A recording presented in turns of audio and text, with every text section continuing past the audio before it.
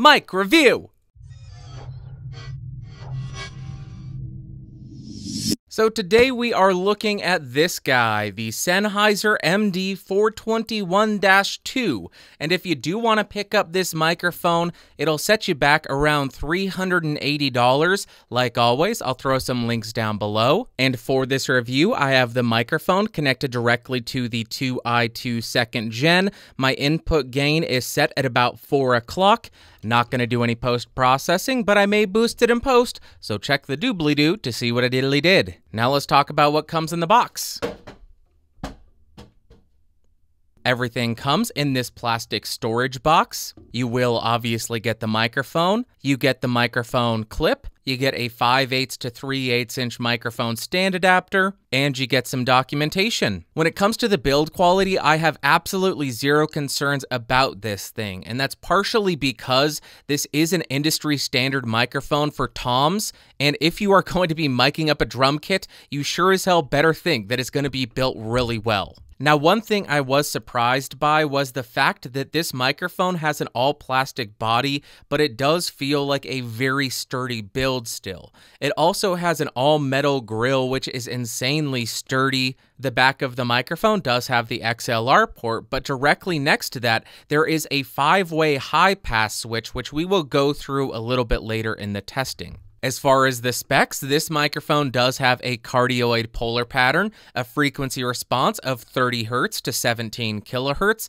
a sensitivity of around negative 54 decibels, and an impedance of 200 ohms. Okay, right now I am speaking into the 421 with the high pass filter set to off, which is when the dial is set to M. Now I am on the first high pass filter switch and this is how it sounds. Now I am on the middle high pass switch and this is how it sounds fourth high pass switch, and this is how it sounds for spoken word. And now we are on the very last high pass filter setting, which is where the dial says S because this is the speech setting, if I am not mistaken, and this is how it sounds.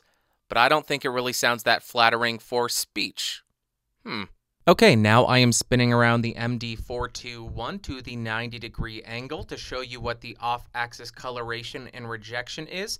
We will rotate around to the 180 degree section, show you what it sounds like from the rear.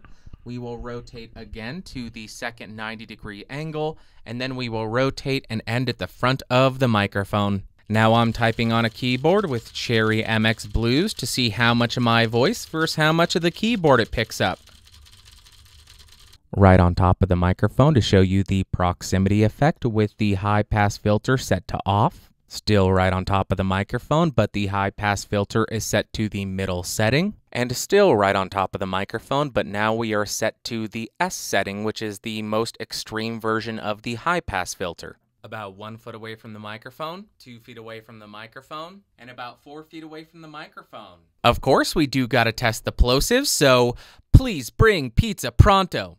Please bring pizza pronto. Please bring pizza pronto.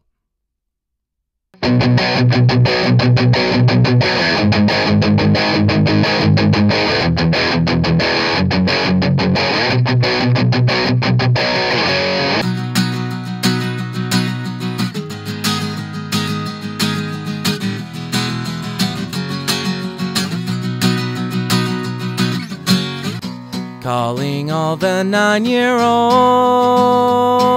It's time to subscribe and say PewDiePie.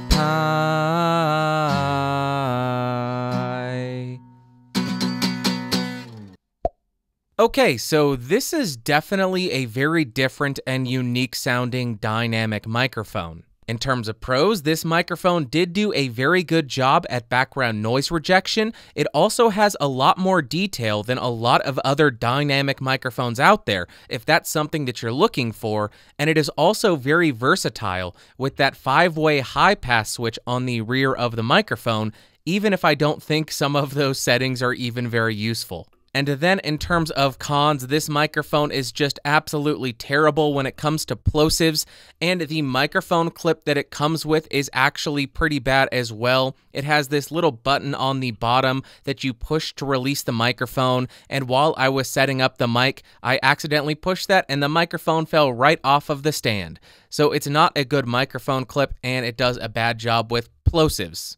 Now, as far as my overall thoughts of this mic, on the electric guitar, maybe I'm a little bit crazy, but I think it has a very subtle scooped sound to it. I think that's probably because when you close mic a guitar amp, you get that proximity effect, which boosts the low end. This mic has plenty of boost in the treble and air frequencies, and that gives it a little bit of a V shape.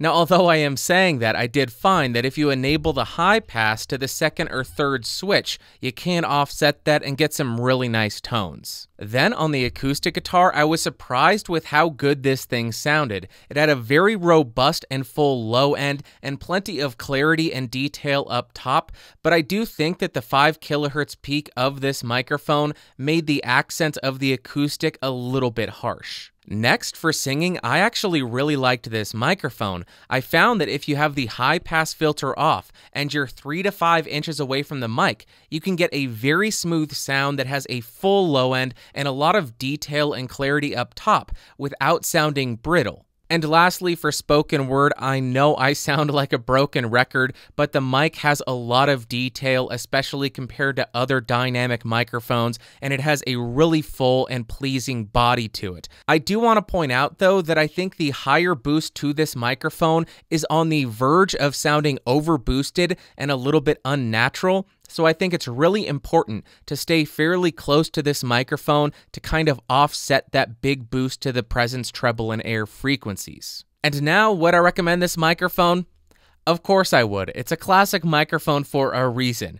Now, on vocals, you can get some really nice tones out of it. It has that full body, but it also has that proximity effect that you can utilize to offset the high boost, and it will also offer you a lot more detail than other dynamic microphones out there. But again, I will point out the plosives on this thing are absolutely atrocious. So if you are using this for vocals, you need to have a pop filter or you need to have very good microphone technique. And then for instruments, I think that's where this microphone really shines. On the instruments I tested it on, I was able to get some pretty good tones, but this mic really seems to be a bit more popular for both drums and bass. So if you're doing anything in a studio, this may be a great mic to have in your mic locker. Alright guys, that's going to do it for today. If you found this video interesting or helpful, go ahead and give me a thumbs up. If you hated it, give me a thumbs down. If you want more videos, don't subscribe to me. Go subscribe to PewDiePie and help him beat T-Series. See, I am doing my part as a 9-year-old.